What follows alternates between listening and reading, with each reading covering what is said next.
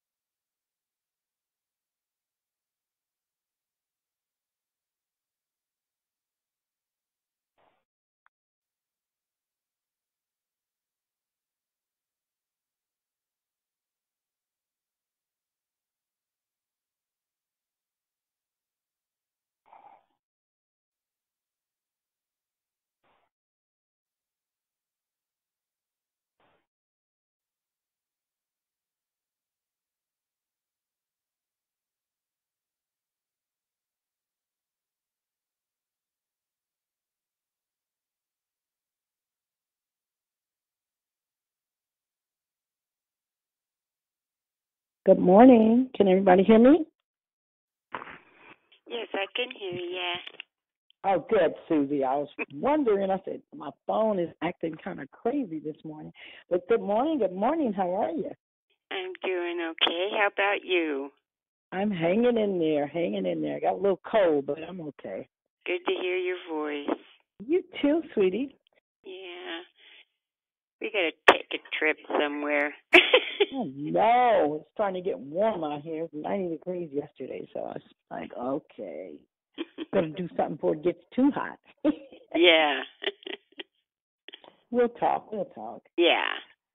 All right. Good morning. Welcome to Declare Victory. This is JC. Did anyone else join? Good morning. Good morning, JC. It's Deborah Evans. Good morning, the Ivanka. Good morning, Deborah Evans. Good morning, Yvonne. And I think I heard someone else. Good morning, family. It's Sister Veronica. Hey, Sister Veronica. Good morning. How's everybody doing? All good. Blessed of the. Lord. Amen. Good, good. Good morning, it's Barbara. Good morning, Barbara.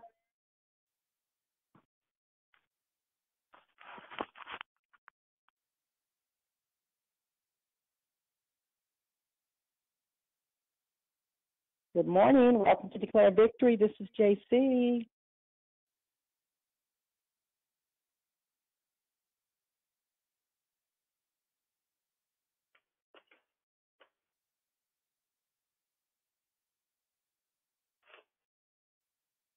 Good morning. Good morning. Good morning. Welcome to Declare Victory. This is JC. Did anyone else join?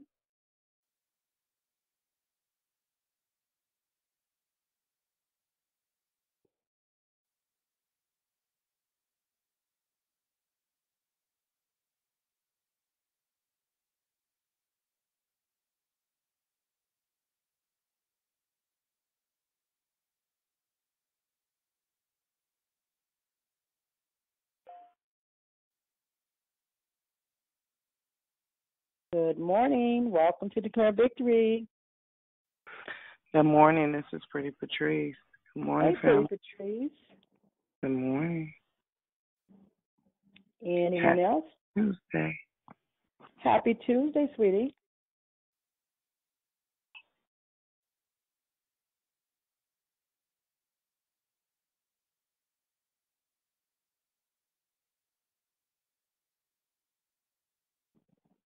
Good morning and welcome to Declare Victory. This is JC. Did anyone else join? Like to say good morning? Good morning. This is Barbara out of Lodi. God bless you. Good morning. God bless you as well. Anyone else? Good morning. Good morning.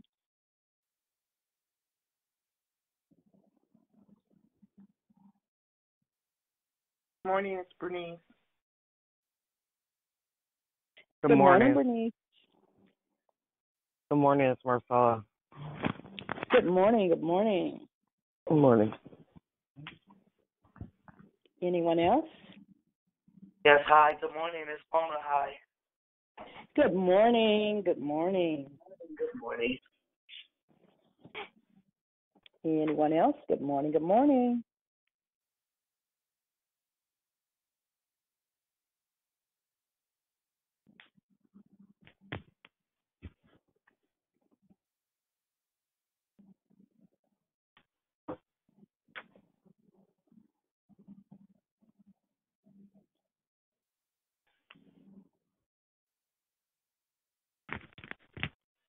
Good morning. Welcome to Declare Victory. This is JC. Did anyone else join?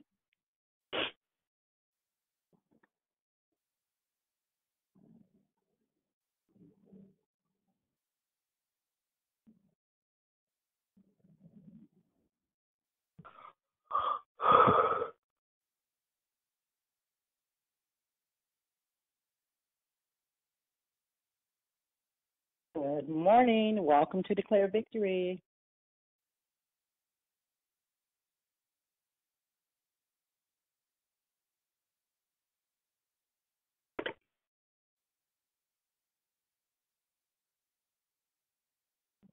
Good morning. Good morning. Anyone else like to say hello or good morning?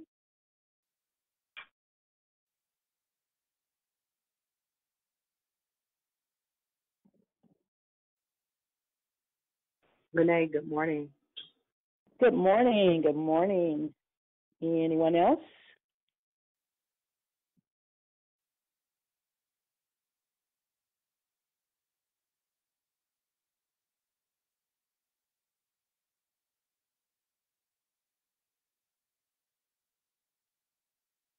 Good morning. Good morning. Good morning. Welcome to Declare Victory. This is JC. Okay, before we move forward, we ask you to mute your line so that we can proceed. Hello again, my name is JC and I am your hostess. Thank you for joining us here on Declare Victory. We are a prayer call that meets Monday through Saturday, starting at 6 o'clock a.m. Pacific Standard Time to edify, empower, encourage, and equip you in your walk with Christ. Please feel free to invite a friend so they can be blessed too. Thank you for joining us daily in the excuse me. Thank you for joining us daily in March for the teachings on int- intentional growth, going higher, deeper, wider, and stronger in your walk with the Lord. Be sure to join us in April as the new themes will be on both the mercy and grace of the Lord. You do not want to miss the teachings, lessons, and messages that the declarers are preparing as they hear from the Lord for his people. We have one announcement today. Please join us tonight and every Tuesday night in March for TNT Bible Study with Pastor Lavelle Jones right here on this call from 7 to 8 p.m. Pacific Standard Time. Once again, please join us tonight and every Tuesday night in March for TNT Bible Study with Pastor Lavelle Jones right here on this call from 7 to 8 p.m. Pacific Standard Time. There are no uh, prayer requests from the app. The order of the call declaration will be by Brother Tony Sandoval. Praying and corporate praise will be done by Pretty Patrice. Then we will go right into closing comments hosted by the declarer. Once again, the order of the call declaration will be by Brother Tony Sandoval. Praying and corporate praise will be done by Pretty Patrice. Then we will go right into the closing comments hosted by the declare. At this time, we ask you to put your phones on mute until instructed to come off mute. I now pass the call to the declare for today. You guys have a blessed one. morning, everybody. Good morning. This is Tony. Um, I just want to wake everybody up here. so before we start, uh, let me just go ahead and pray before we kind of move into into today's message. Uh, Father Lord, I just thank you so much, God, for this opportunity. Thank you so much for these people. Thank you so much for this line, God. I pray that you be here. I pray that you be the center of attention, God. I pray that your word is spoken loud and clear, God. I pray that I may not get in the way of your message, God. I pray that you clear me uh, of anything, God, that, that may get in the way of what you have to say today, God. I pray all these things in the name of Jesus. Amen. You know, when I was when I was younger, um, about middle school, I I really fell in love with sports, um, and something I started doing really young, uh, probably when I was about 10 years old or so. And when the sport I really liked playing, the sport I really loved playing, and got kind of obsessed playing was basketball. So right around 10 years old, um, my parents knew that I loved playing basketball. I played in middle school all throughout, and they got me a basketball court, uh, one of those like kind of portable, foldable ones that you could kind of roll around and put sand at the base. Uh, we had in the backyard, and I got a basketball, and I would go back there after school, uh, and even before school sometimes, and I would just play. I'd play for hours. I would, I would, uh, you know, I played pickup in the park. I played during PE. Uh, I played on teams. I played on the street. I played everywhere. I would ride my bike to my friend's house so that we could go play. Like uh, that's all I did in middle school uh, was play basketball. And the thing about middle school is that everybody is about the same skill set in middle school. There's usually not a couple guys who are, you know, super better than the other person. Uh, they're all about the skill, same skill set. And when I got into high school, I was I was still playing. Um, I was still playing kind of you know in parks and school and with friends and and uh, and we you know we we obviously played like in high school and everything like that. So uh, again, everybody was about the same kind of skill set. But right around 14, uh, I started noticing that while other kids kept growing, um, I kind of stopped. and then I kind of topped out at about five foot six uh, and about 140 pounds at the time. I was a really skinny kid in high school, and there was uh, these other just massive giant kids who were, you know, six foot five. We have a we had a guy on the team in senior year who was like six foot eight. Uh, so he was really big. and so in basketball, being five foot six is a problem. Uh, in basketball, that's a really big problem. Uh, you know, I was not going to be physically greater than anyone on the court at any given time. You know, uh, there was a lot of players who I really kind of looked up to and kind of, you know, wanted to shape, you know, my particular skill set over. Uh, but when I looked at guys like Michael Jordan and Shaq and guys like Kevin Garnett, that were all, you know, physically gifted in ways that even most people in the NBA weren't. That made them great. I would never be six foot six like MJ and be able to, you know, jump from the free throw line. I would never be seven foot two and three hundred pounds and can move like a guard like Shaq. I would never be six foot eleven and have a wingspan of seven foot four like Kevin Garnett. So I remember really vividly. Uh, I made the team probably just out of sheer determination uh, in uh, freshman year. Um, but I was convinced that I was never going to be really great, and I don't think I could ever have been really good at all. Um, but I remember a player came and he changed the definition of greatness. So was a guy named Allen Iverson in the early 2000s. Uh, on paper, he was listed at about six feet tall uh, and at about 160 pounds. But anyone who ever saw him play, whether live or in person, knew this dude was not six feet tall. he was probably closer to about five eight, and he was probably closer to about was about 160 pounds or so. He was a little guy, uh, but but he dominated games. He scored almost at will. Nobody could stop him. He used his speed, his sleight of hand, and just sheer determination to be great. He redefined what it meant to be great. Before him, what it meant to be great, that you needed to be a specific size, a specific skill set, uh, a specific physical stature to be great, but he redefined what it meant to be great.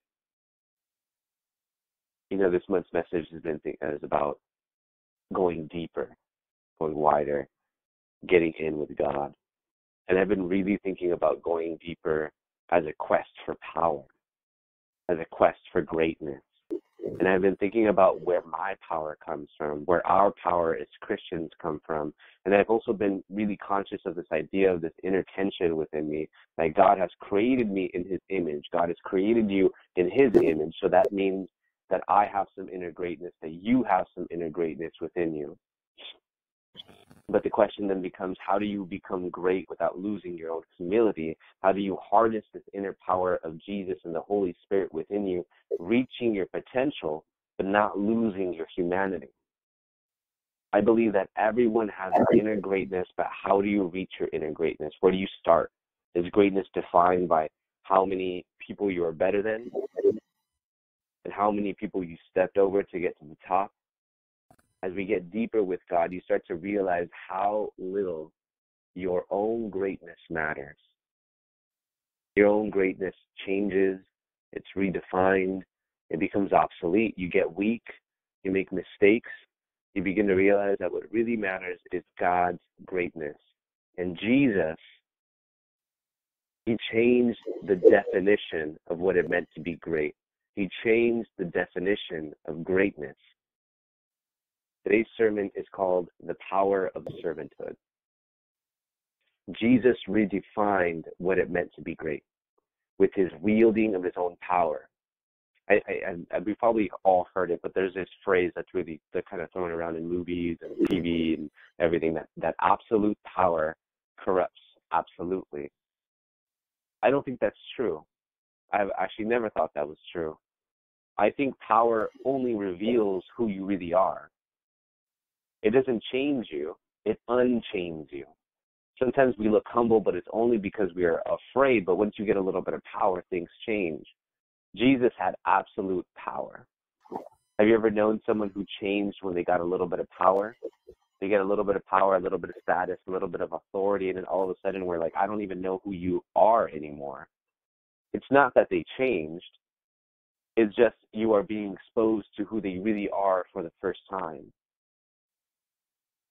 I'm going to make a prediction that everybody within the sound of my voice, that you will become more powerful. At some point, at some time, as we get deeper with God, as we get stronger with God, as we delve deeper and just mature and just kind of grow and grow, I'm going to make a prediction that all of you will become more powerful. Some incrementally and some exponentially. And the question becomes, what will you do with that power? So as I think about power, I think about greatness, getting deeper with God. I was kind of praying and just kind of let that in. The way God kind of works within me is He drops me a word, He drops me a couple of things in my heart, and then I just think about it forever. I pray about it, I read about it, I read up on, on it, and I kind of go through some things. And God kept guiding me on over to John 13. In John 13, chapter 1 is where we're going to be today. And this is a this is sort of where it all goes down. It's sort of the tail end of Jesus' uh, mission here on earth, uh, his ministry here on earth. Uh, he's in the upper room with his disciples. Uh, they're about to have supper, um, the Last Supper. This is right before Judas betrays him, right before Je- Jesus goes to the Garden of Gethsemane, right before uh, Jesus gets picked up by the Roman soldiers. He goes to Pontius Pilate, gets crucified, is buried, three days later, resurrected. In this story, we win. But something happens in John 13, verse 1, that I think it's super indicative of Jesus' nature, of his power, of his greatness, of his redefinition of what it meant to be great. In these times, what it meant to be great was to be a warrior, was to be a person of status, was to be a person with money, was to be a person with wealth person with power. It sounds familiar. It's definitely something that kind of still, uh, it's still big in today's culture. If you got power, if you got money, if you got status, you're great. And Jesus, in his all encompassing knowledge, knew that right before he was crucified, right before he left, he needed to teach his disciples one last thing. Maybe the greatest thing that he ever taught them. And he reserved this special lesson just for them about what it meant to be great, about what it meant to be powerful, about what it meant to do with your power. In 13, verse 1. Now, before the feast of the Passover, when Jesus knew that his hour had come to depart out of this world to the Father, having loved his own who were in the world, he loved them to the end. He had loved his disciples during this time on earth, and now he loves him to the very end, is another translation. I love this insight into the motivation of Jesus. I love this insight because it shows Jesus' heart. He loved his disciples, even at the very end. He loved this in, this entire time that he was with them, and he was loved them even now. Even as somebody who was in the room was going to betray them, he loved them. Jesus' entire motivation was based on love. Verse 2 During supper, when the devil had already put into the heart of Judas Iscariot, Simon's son, to betray him, Jesus, knowing that the Father had given all things into his hands. Um, I'm just going to take a quick pause. If you if you can, please check your phone lines here. Just mute them, uh, just so we can kind of preserve the call. We do record them, uh, and do just want to make sure that the call's kind of intact here. So, um, thank you. All right, we'll get back into verse 2. So during supper, when the devil had already put into the heart of Judas Iscariot, Simon's son, to betray him, and Jesus, this is important, verse 3, Jesus, knowing that the Father had given all things into his hands, and that he had come from God and was going back to God, rose from supper. He laid aside his outer garment and taking a towel, tied it around his waist. Just to kind of summarize a couple points here uh, from verses 1 through 3, 1 through 4, I should say. Jesus loved, Jesus knew about Judas, and Jesus had power. The context is very, very clear. Jesus did everything by love. What he was about to do was out of love. And Jesus knew. Jesus knew all things. It says that he was uh, from the Father, and he was going back to the Father. The Father, God in heaven, omnipresent, all knowing, so he knew what Ju- Judas was about to do, and Jesus had power. Jesus had power that the Father had given all things into his hands, and that he had come from God and was going back to God. He had all power. That the Father had given all things into his hands. So Jesus loved, Jesus knew, and Jesus had power. Those are three things that he had before he had uh, before we continue into the next part. Um, he knew about Judas.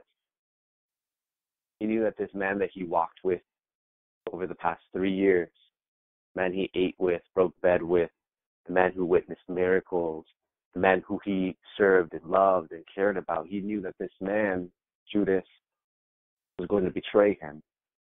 And Jesus, having all this power, all this power. In verse 3, he says that he all things were given to him. He knew everything. He had all this power. Sat across from a dinner table, and Judas looked Judas in the eye and knew that this man was going to betray him. If I had all power and I had all knowledge and everything was given to me, I can't imagine how I would react. I can't imagine what I would do knowing that in this room, in a small group of men who I loved, who I served, who loved me, who served me, that one of them was going to betray me. Not only betray me, but give me into death. I can't imagine what I would do. You know, we always ask for power. God, give me power. Jesus, give me your power. Give me power. Give me power. Give me more of you, God. Give me more of your power. But what would you do with that power? It's a huge responsibility to have that power, to kind of wield that power. And I was kind of reading up on Judas and I was reading different um, theories from theologians about why Judas did what he did. um, why he, um, you know, why he betrayed Jesus. And one of them that really kind of resonated and made a lot of sense with me was um, was that Judas wasn't actually trying to kill Jesus. There are numerous times when the disciples re- react to Jesus' goodness and his compassion and his love with angst and confusion. And they ask things and they're like, Why do you react like this? We're we're being occupied by the Roman by the Roman uh by the Roman people, by the Roman Empire. Why do you react like this? They were expecting their Messiah to react in violence. They're re- reacting. Uh, they're wanting to their their the reaction of their Messiah to be swift, to be military, to be uh, to be conquering. And I think Judas wasn't trying to paint, wasn't trying to kill Jesus. Rather, he was trying to paint Jesus into a corner so that Jesus could finally wield his power, could finally react, could finally say, enough is enough. I'm going to take down the Roman Empire to meet violence with violence, to meet injustice with injustice. That's what Judas wanted. Judas thought that Jesus' power would come by violence, but Jesus was determined to use his power differently. Jesus was determined to use his power to serve. Jesus, in some ways, was handcuffed before this. He says in John 5:30 that he was powerless. Apart from the Father, I can do nothing. Jesus operated with not direct power, but relationship with the Father before this. But now Jesus had full power. He understood he was from God and he was going back to the Father. Jesus had unlimited power now. He knew about Judas, but he loved, even still. Even still. Verse 5 Then he poured water into a basin and began to wash the disciples' feet and wipe them with the towel that was wrapped around him. He came to Simon Peter, who said to him, Lord, do you wash my feet? Jesus answered, What am I doing? What what I am doing, you do not understand now, but after you would understand. Peter said to him, You shall never wash my feet. Jesus answered him, If I do not wash your feet, you have no share with me. Simon Peter said to him, Lord, not my feet only, but also my hands and my head.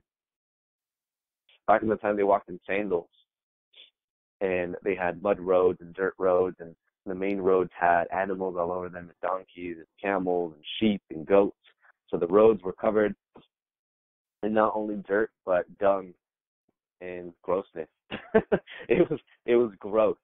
So before when somebody walked into a house, it was ceremonial for them to have their feet washed, so they could sit and eat cleanly. They sat at a table that was very very low, so their feet were very evident and close to the table. So they had to get their feet washed before they did anything.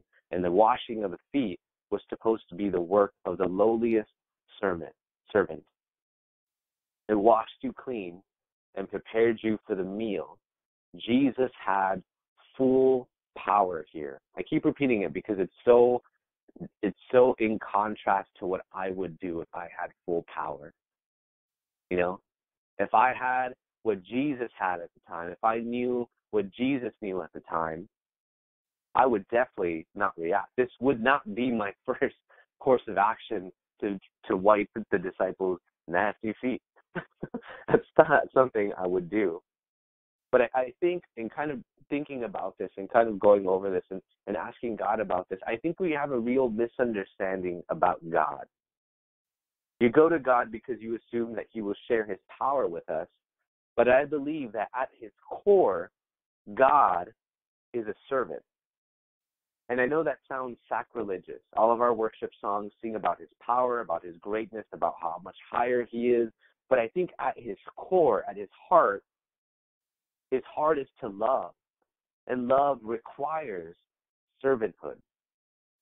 God wants us to know his love more than he wants us to know his power.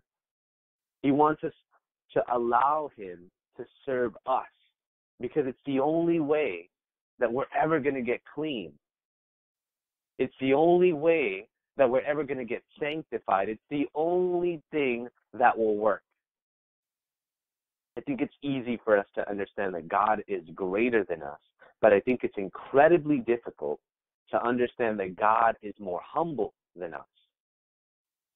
God knew that by creating us out of love with free will, he would need to be a God who serves us. God loves us unconditionally. And we don't even love God with conditions. The only one who can make you clean and forgive your sins is the God who is willing to come down and clean you. He's the only one who cares enough to lower himself to do so. Verse 10 Jesus said to him, The one who has bathed does not need to wash except for his feet, but it is completely clean, and you are clean, but not every one of you, for he knew who was to betray him. It was why he said, Not all of you are clean. Jesus makes it clear that you you are bathed, you are clean.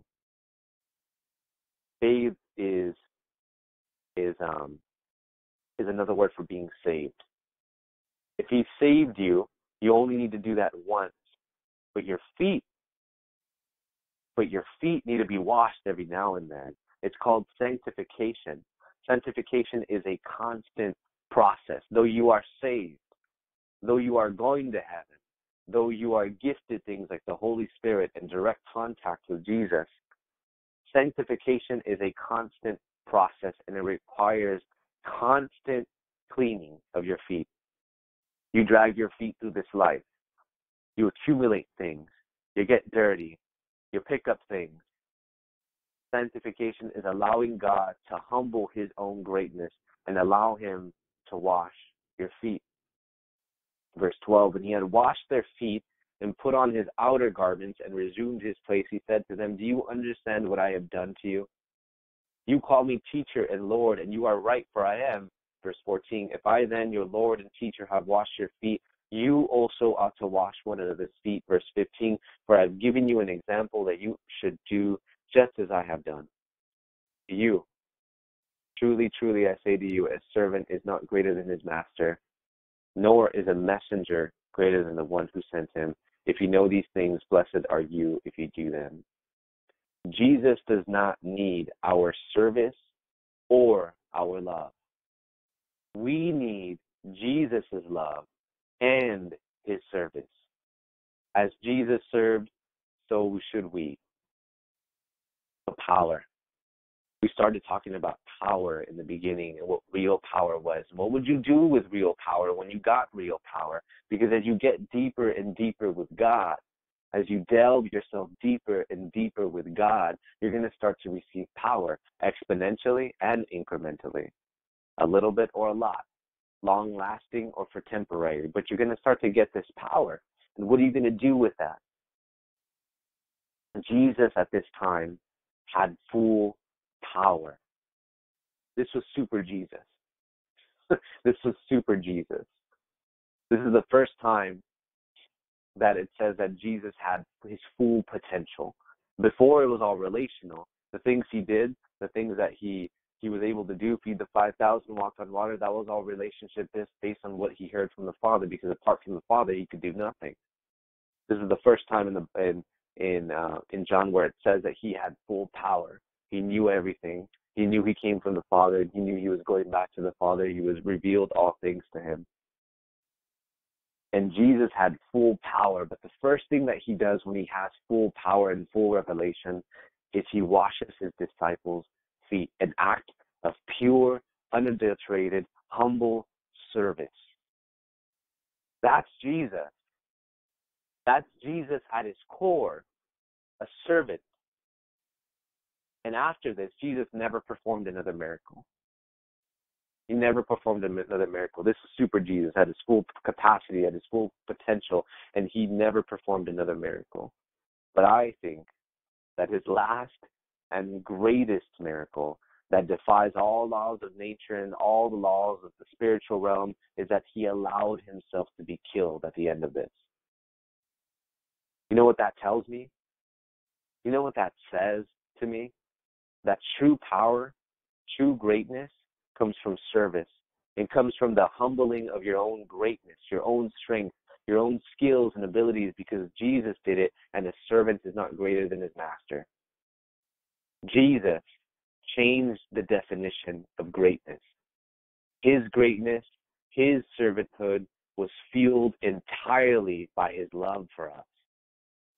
God uses his power not to conquer, but to love.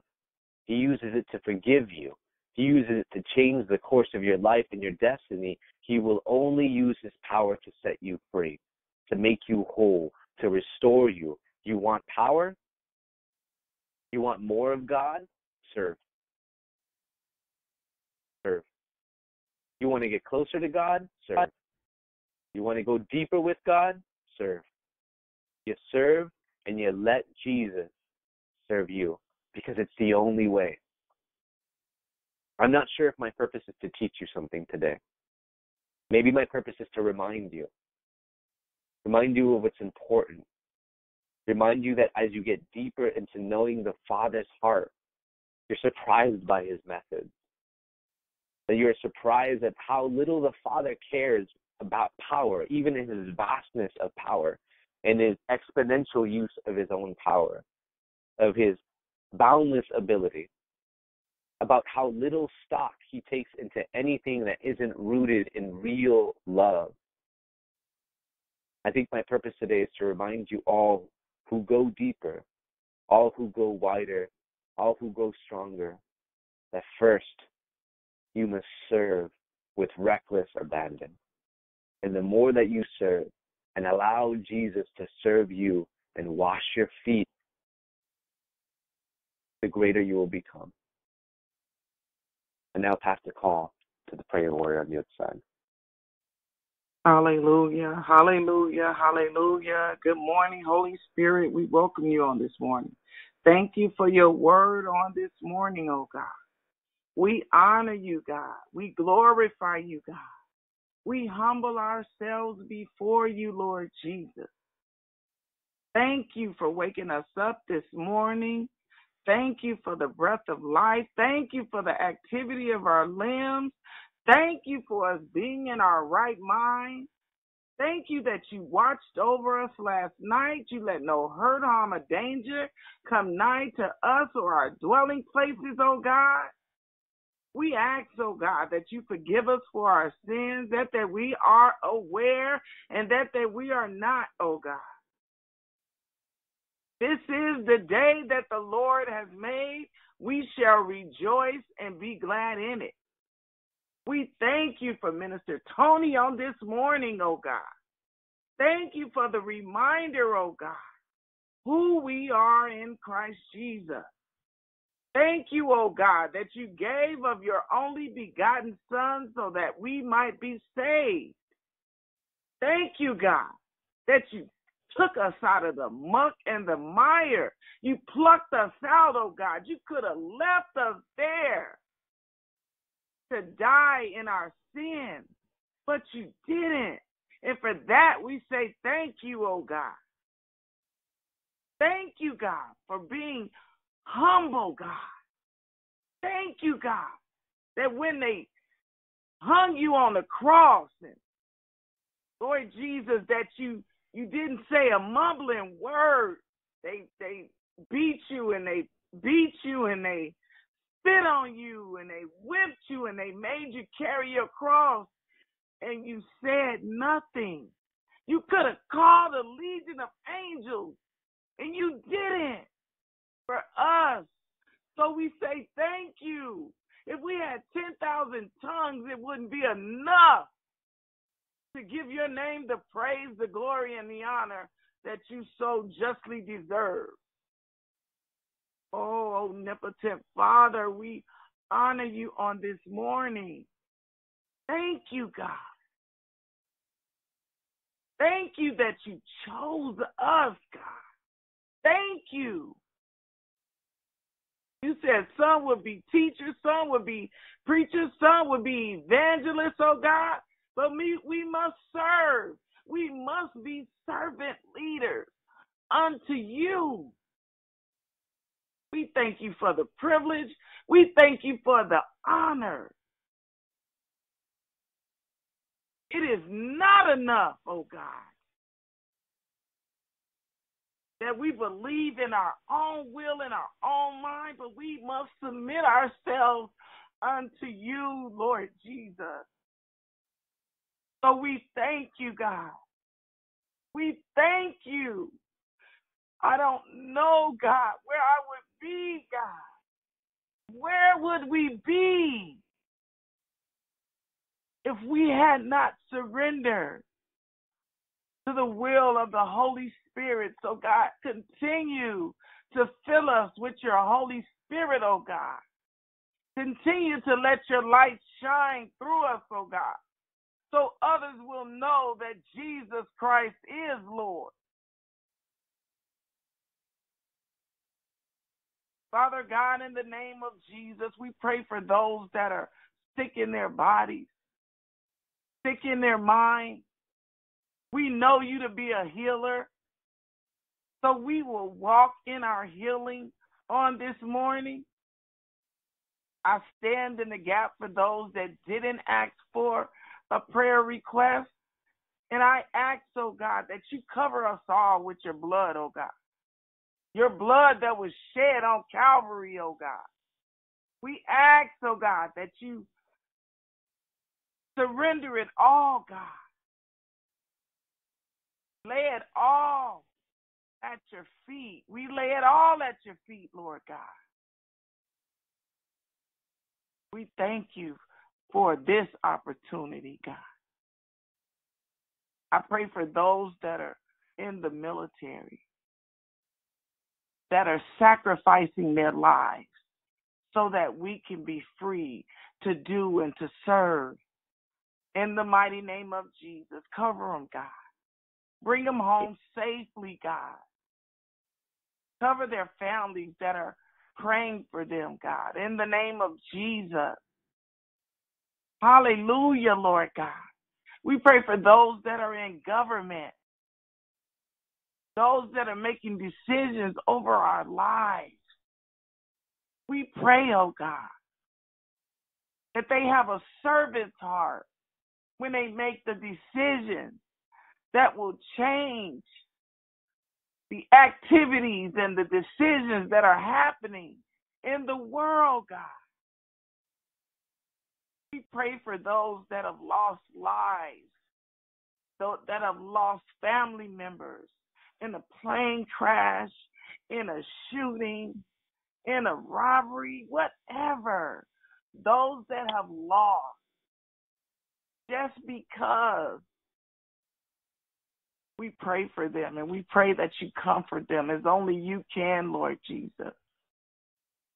We pray for ministers and pastors and bishops, evangelists and ministers across the world that take out time to pray for us. We thank you, God, for their sacrifice day after day after day. We pray for teachers that teach our children. Continue to watch over them, God. Our children are, they need us, oh God. So I pray, oh God, that there is someone that is feeding into their spirit who you are. In the mighty name of Jesus. And we declare and decree we are the righteousness of God. Get your hands off our family. Get your hands off our children. Get your hands off our finances. You have no place here. You have no authority here. And the Lord Jesus rebukes you in the mighty name of Jesus. Oh, we glorify you, God. We humble ourselves before you, God. We thank you, God. We don't take it for granted that it wasn't the alarm clock that woke us, but it was you, God. You gave us the breath of life. You formed us from the dust of the ground and blew into our nostrils the breath of life. And then you Hello? took from man a rib and you made and created woman. And for that we say thank you, God. Thank you, Jesus. Oh, hallelujah, hallelujah. Oh, great one. Oh, great one. We don't take it lightly. We love you. We honor you and you, we trust you with our lives. And we pray, oh God, that you will put into our spirit a willingness to serve, a willingness to submit, a willingness to surrender unto you so that we will receive power, the power of the Holy Ghost to give, to serve unto you, Lord God. So as we take our phones off of mute, we collectively will give your name the praise, the glory, and the honor. We thank you, God. Thank you for this day, this Tuesday morning, where we will glorify you and honor you, God. We thank you, God. Hallelujah. Thank you, Lord. Jesus. Thank you, Lord, for waking Jesus, up this Jesus, morning. Jesus, Thank you, Jesus, Jesus. Hallelujah, hallelujah, hallelujah, hallelujah, hallelujah. Jesus, hallelujah, Lord God. Yes, Lord. Jesus, hallelujah, Lord God. Jesus, hallelujah, Lord God. Thank you, Lord. Thank you, Lord Jesus. Hallelujah. Thank you, thank you, thank you, thank you, thank you. Hallelujah, Lord God. We cry out to you this morning, Lord God. We lift up the name of our Lord and Savior Jesus Christ this morning, Lord God. We say thank you, Lord God. Oh, hallelujah, Lord God. For that example, Lord God, of, oh, Jesus, hallelujah, Lord God. How you humbled yourself, Lord God, to wash other feet, Lord God. How you humbled yourself, Lord God, to wash your disciples' feet, Lord God. Oh, thank you, Lord God, for that example, Lord God. Oh, hallelujah, Hey, hallelujah, hallelujah, Lord God. How we are, oh, hallelujah, Lord God. Humble ourselves, Lord God. Oh, thank you, oh, Lord God. Thank you for the heart of a servant, Lord God. Oh, thank you, Lord God. Thank you, Lord God, that we shall receive power, Lord God. Oh, hallelujah, Lord God. The power, Lord God. To serve. Oh, Jesus, hallelujah, Lord God. Thank you, Lord God, for reminding us all that we have to be grateful Lord God. Oh, hallelujah, Lord God. So much to be grateful for, Lord God. Oh, hallelujah, Lord. Victory in thy praise. Victory in thy praise. We declare We thank you, Lord God, we are the for every healing, Lord God. We say thank you, Lord God, for every breakthrough, Lord God. We say thank you, Lord God, for every deliverance, Lord God. Oh, hallelujah, Lord God. In the name of Jesus. Hey, in the name of Jesus. Hallelujah, Lord God. Thank you, Lord. We continue to lift up our community today, Lord God. We continue, Lord God, to lift up our neighborhood today, Jesus. Hallelujah, Lord God. Hey, we continue, Lord God, to lift up our neighbors to you this Lord God. Thank you, Lord God. Thank you, Lord God. Thank you. No gunshots rang out last night, God. No gunshots rang out last night, Lord God. Oh, thank you, Lord God. do a new thing in his life, God. Come on. Hallelujah, Lord God. Jesus, hallelujah, Lord God. for each and every one that comes Those that on. are in bereavement, Lord God. Oh, hallelujah, Lord God. Comfort them, Lord God. Those that have lost loved ones, Lord God. Comfort them, Lord God. Oh, Jesus, hallelujah, Lord God. Those, Lord God, that are going through, Lord God. Comfort them, Lord God. Oh, Jesus, hallelujah, Lord God. Oh, those, Lord God, that's to go deeper, Lord God. Comfort them, Lord God. Oh, hallelujah, Lord God. Those that are seeking, Lord God, to go through from, Lord God. Help us to trust in you, Lord God. Help us, Lord God, to stand on your holy word, Lord God. Help us, Lord God, to submit unto you, Lord. God. And to resist the devil, Lord God. He must flee from us, Lord God. Oh, Jesus, hallelujah, Lord God. Your holy word, Lord God. Thank you for Your your holy word, Lord God. Lord God. Victory in thy praise. Mighty and all Victory in thy praise. Hallelujah, Lord God. We say thank you, Lord God, Sacrifice your life for for the me, Lord power God. of prayer, Lord God. Thank you, Lord, for the day, We Lord. say thank Bless you, your Lord name God, and bless it for indeed, the Lord. power of prayer, Bless Lord your name God. And bless it indeed, Lord. I love you, God. I need you, God. There is no God before you, Lord God. There is no God after you, Lord God. You are the only one who is holy, true God. Lord God, I don't hallelujah, hallelujah, hallelujah, my energy, Lord God. Nothing, one but you, Lord. I thank you for your uh, presence, for the Lord. Holy Ghost, Lord God. Yes, Lord. Lord God. Yes, Lord. I thank you for the beginning of time, Lord God, until this time, Lord God. I thank you for your wisdom, Lord God. I thank you for your knowledge, Lord God. I thank you for your omnipotence, Lord God, and your omnipresence, Lord God. I just bless your name, God. Thank you for the clarity.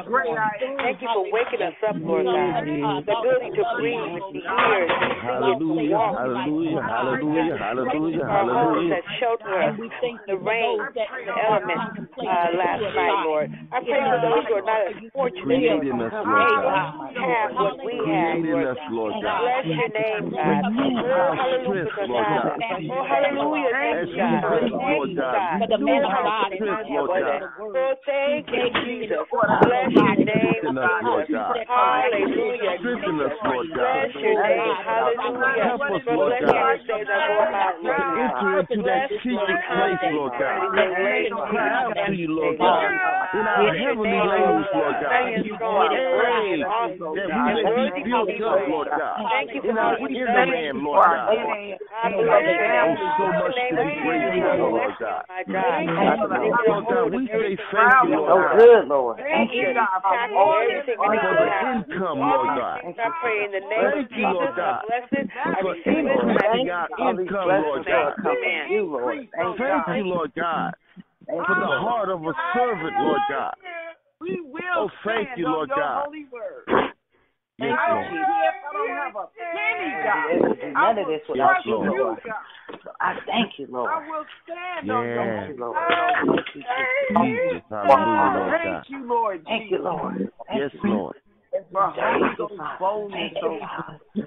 The willingness to stand flat footed and say that I am the Thank righteousness you, Yeah, yeah, Jesus. Hallelujah, Lord. Thank you, Lord.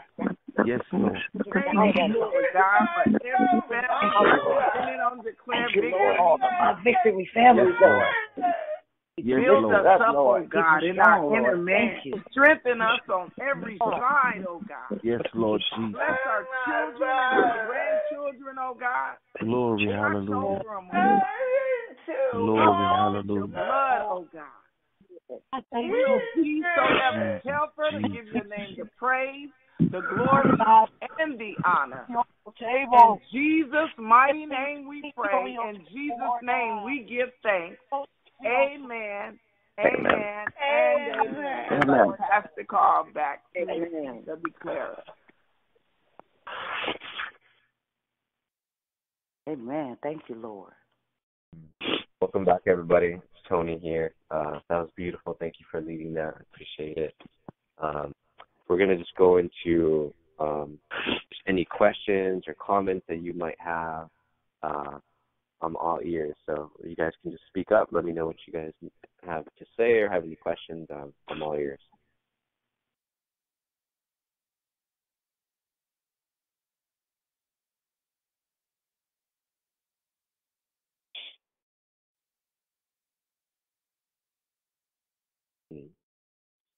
Jesus. Okay. Yeah. If you guys, again, if you guys have any questions or any comments or anything,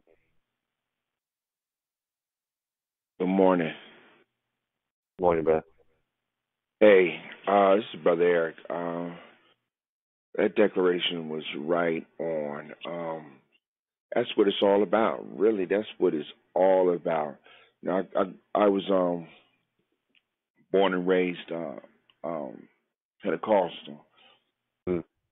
Mm. And uh, in the black church, we tend to ven- venerate. And I, I, I can't say for Baptists uh, uh, or AME Zion or, or, or, or any other the various denominations, uh, but I can say for the in the sanctified church, a lot of times we tend to venerate our pastors. We tend to kind of lift them up, uh, mm-hmm. um, and and kind of tr- and kind of place on pedestals. We identify our churches by our pastor. This is you know this is my pastor, but you're yeah. and I really didn't see the the I really didn't see until I was uh, an elder in the Presbyterian church that really that process of, of servanthood in terms of, of, of, leadership, in terms of uh, of, of, of pastorship, and because the, the power structure is, is based differently. Um, I grew up, you know, we respected to serve our church, but we respected to serve our church and our pastor. Mm-hmm. You know, and it was always this this mindset of you know doing this, but but uh, your your declaration really said it all, and, and Christ was the example. You know, saying Christ didn't have a home. You know, Christ stayed at other people's place. Christ was always at at everyone's beck and call, and you always see uh, uh, Christ always uh, uh, um, reaching out, always healing, always doing this thing, always going here and going here. And this is the creator of the universe. And so it was yeah. an excellent example of of of of, of Christ's servant and and ultimately, you know, his ultimate act of service was to die for us, and not just die, but but but the way that he died, in in, in the most excruciating and the most humiliating way that that you could at that time. And it's always has always been a, an example. It's a powerful declaration that if I can get out of my own way, and understand that yes, there is power because there's a power in serving that that really keeps us from from from being um, isolated. There's a power in serving that keeps us humble. There's a power of serving that keeps us really connected to God because that's what God does, and that's what God continues to do. Is serve and minister to us every day. And so I just want to thank you for that for that wonderful uh, declaration, and it's something that uh, that I will think about today. It's something that I was always raised up to be, so it's it's an integral part of me. But it's always great to have that reminder that it's not about us. It's not about yeah. our ministry. You know, it's not about anything that my name's attached to. It's an understanding that uh, my title does not define me, but how I treat people and how I serve people. That's what ultimately defines us because that's what ultimately defines us. That's why it's so great to serve a God who ultimately serves us every day. Mm-hmm. So thank you very much, my, my brother, and God bless. Thanks, bro. Appreciate it, man. Yeah, I think that was the, the biggest thing. I mean, I was kind of just meditating on this and just like, I'm never, um, I'm always shocked, I should say, by the methods that Jesus uses um, to get his point across. You know, washing people's feet is is something that's you know super looked down on, but also just knowing the kind of power he had and that he still chose to do that and that he tells Peter like this is the only way this is the only way this is going to work. If you want a relationship with me, you got to be clean and the only one who can clean you is me. You know, Jesus at his heart was a servant. God at his heart is a servant. And just to kind of reposition that and know that you yourself have got to be a servant. I mean, it, it changes the game when that kind of clicks inside of you. Thank you, man. Um, anyone else on the line have any questions, any comments about today?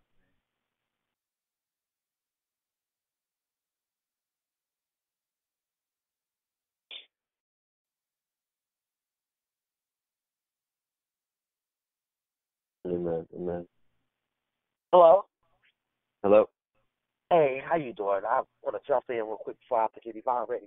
But with uh, thank you, thank you, thank you. That was a um, I got a lot out of your declaration, Tony. It was, it was just had me just stuck just thinking, you know.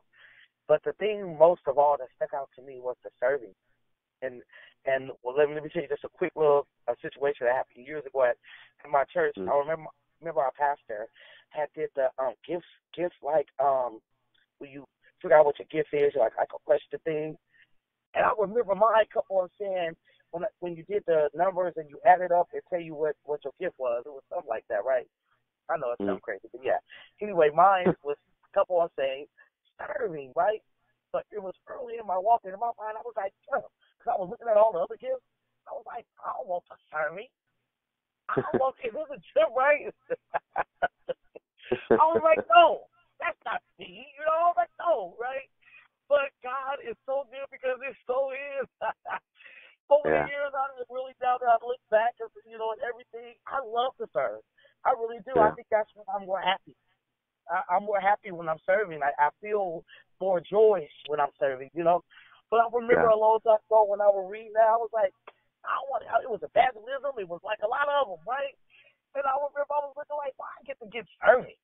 Like that yeah. ain't special but it's so special.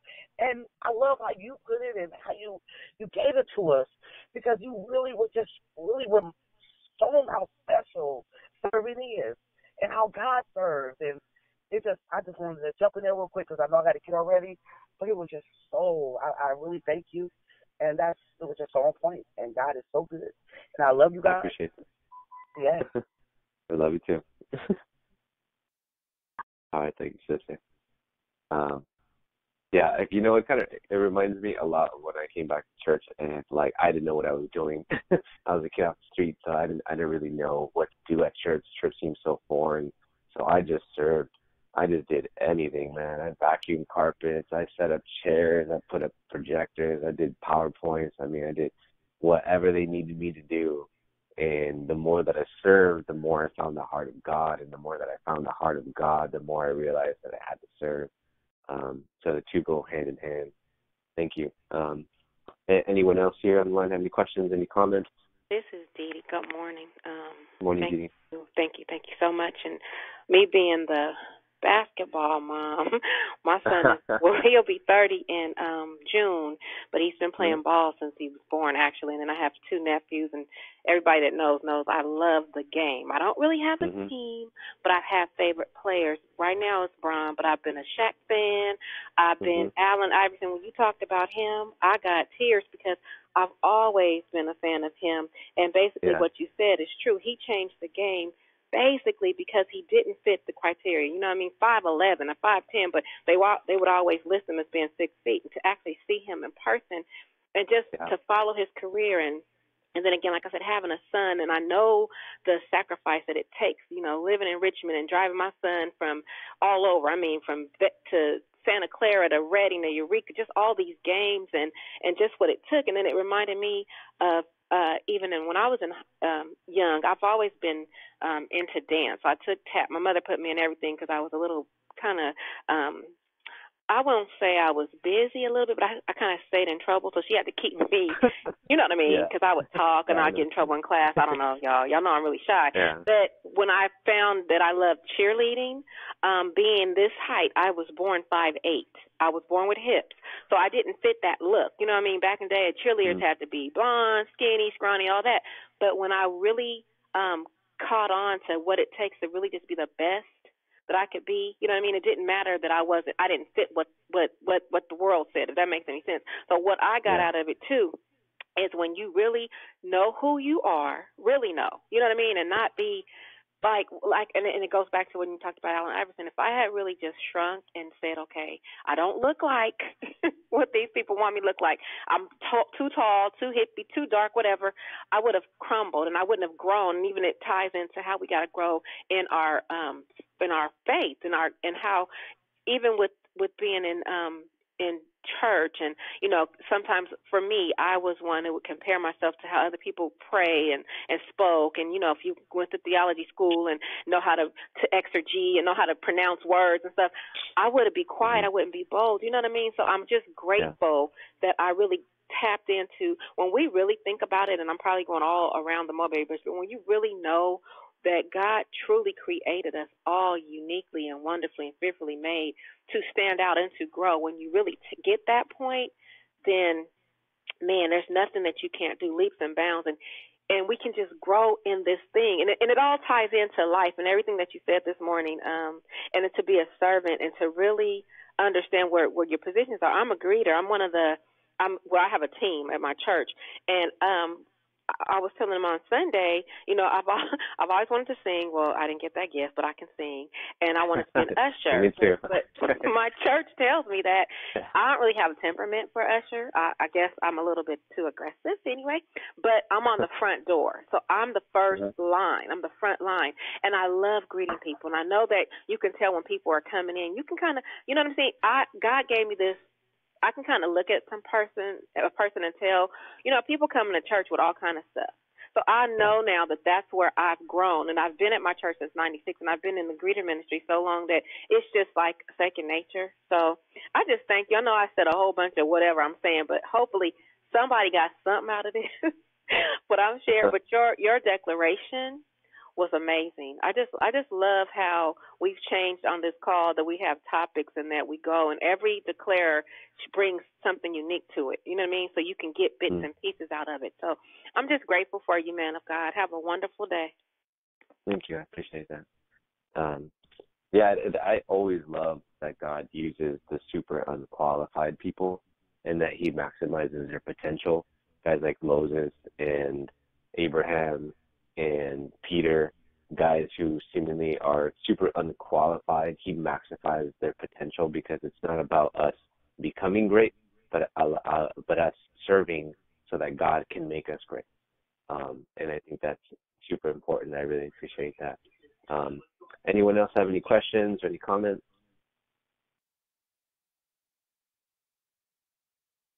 Hi, Tony. Good morning. It's Moni.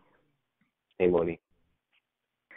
Hi. Um, great message. I really like the way you laid it out for us. Um, there's just, you know, there's so many blessings with um, with serving, and um, you know, um, it allows us to discover spiritual gifts and um, it allows us to experience miracles mm-hmm. and it allows us to experience the joy and peace that comes from from being obedient and this is not just serving in the four walls of the church you know just doing kingdom work um mm-hmm. it could be something as simple as picking up the phone and encouraging your brother you know um pouring into and sending a text message to somebody you know, to empower and edify them. Um, serving helps us to just be more like Jesus. You know, it really does. And it surrounds us with Christians who can help us follow Jesus. And it also increases our faith. You get blessed when you serve. When you do something for the Lord, when you really seek the Lord's voice and do something for Him, you get blessed by it and most people they're just they make themselves too busy to be able to to um serve the Lord and humble themselves and serve the Lord. And and if they just take a chance on him and step out and serve and and and humble yourself and edify someone else there really truly is blessings in that. And i think that goes missed that goes missed sometimes. And um you know, it, it really allows us to experience God's presence in so many ways. It's just so good for our soul. But I really like what you brought to us today. Um, it really puts emphasis and importance on what God wants us to really be doing just redirect redirect our um our uh, path. What, what, what are we supposed to be doing? What are we supposed to be hmm. doing on the daily? We should never be found bored. Well, I'm bored, you know, I'm just, I have nothing to do. That's not what God wants. You know, God wants us to go out there and, and further His kingdom and grow His kingdom and step out and serve not only in the church, but even outside the church. And if we don't know where and what to do, he will definitely meet us if we drop to our knees and just try to hear his voice because every one of us should be able to hear his voice so that he could guide us where are we supposed to be whose feet are we supposed to be washing? How are we supposed to be doing this so that we can turn around and be blessed? And it really does take the focus off of what we're going on what we're going through i mean. It really does take the focus off of it it helps us to get through it quicker because that's the goal is to get through what we're going through quick, learn from it, and move on. In any case, um, thank you so much for your message. I always love listening to you, and I thank God for you. Thank you. Thanks, Moni. Um, I, I really, really love what you said. Uh, it, it should never be bored. you know, the Bible says that the the work is plentiful, but the laborers are few. Like there, there's a lot to do like you should never feel like there's nothing for you to do and you should never feel like there's nothing for you to do that you can do. There's plenty to do and there's plenty that you're supposed to do. God has built, you know, things within us that are going to be so natural when we do serve that they just make sense. Uh, it just makes sense and it's easy. Like anytime I'm asked to speak or asked to preach or somewhere, like it's never worked for me. it, it's like I love doing it. I know Moni when you text me before, like, um, hey, are you ready? And I always say I'm ready. Like I've I've been ready. I'm good to go. like I take a lot of, you know, stock in knowing that like this is fun for me. I love doing this. I love hearing from God. God is always speaking and you just got to be listening and you know, I I there's a lot of preaching that I do to myself that God is speaking, and there's a lot of things that God is doing within you and out of you, and at all times. And I just really believe that God always has a place for you, and God always has a position for you, and God always has a place for you to serve. Uh, you just got to work at it. You just got to discover it. So I, I appreciate what you said. Hmm. Anyone else on the line have any questions, any comments?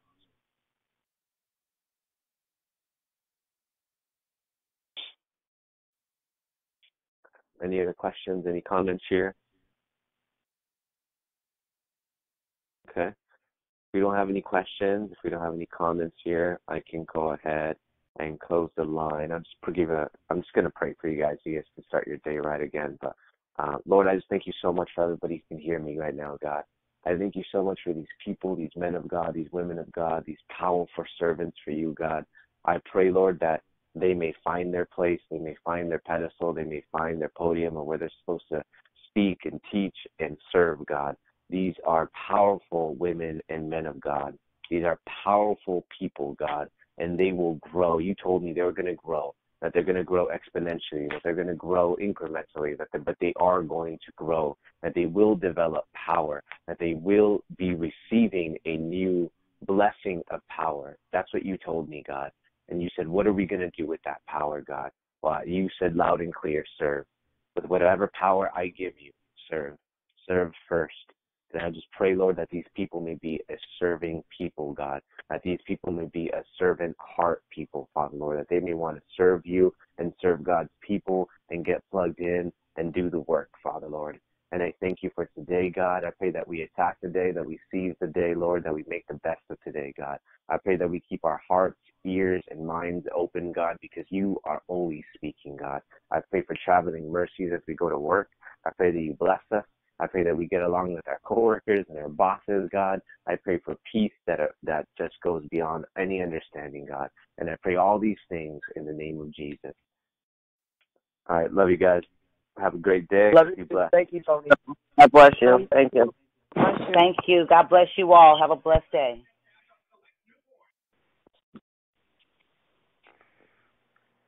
I get ready to go to war. Thank you. Love you, Miss Yvonne. Have a good day at work. Have a good day, everyone.